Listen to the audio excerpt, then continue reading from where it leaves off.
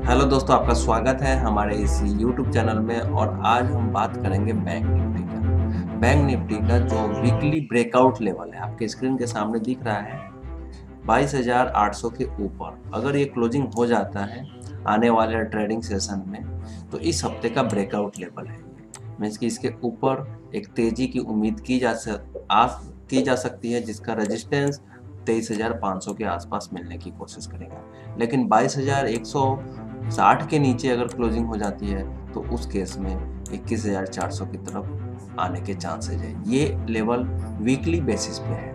और जिस तरीके से ब्रेकआउट लेवल के बेसिस पे देखा जाए, निचले लेवल से तो बाईस हज़ार चार सौ और बाईस हज़ार पाँच सौ, ये एक इम्पोर्टेंट रेजिस्टेंस है।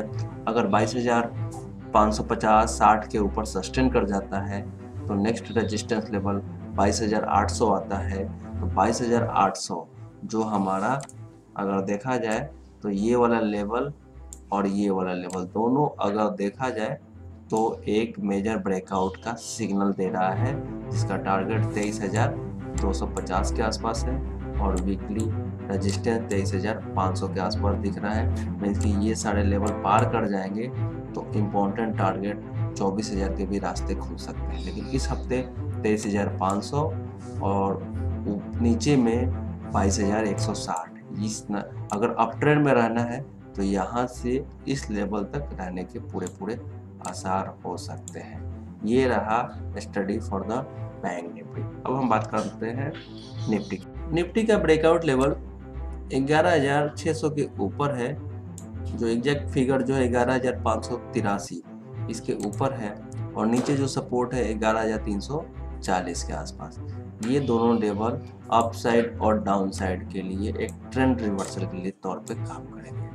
और देखा गया है बाज़ार में ग्यारह हज़ार चार सौ चौंसठ के ऊपर की क्लोजिंग तो आने वाले टाइम में अगर इसके ऊपर चलता है तो मेजर रेजिस्टेंस ग्यारह हज़ार आठ सौ तक के टारगेट खुल जाएँगे।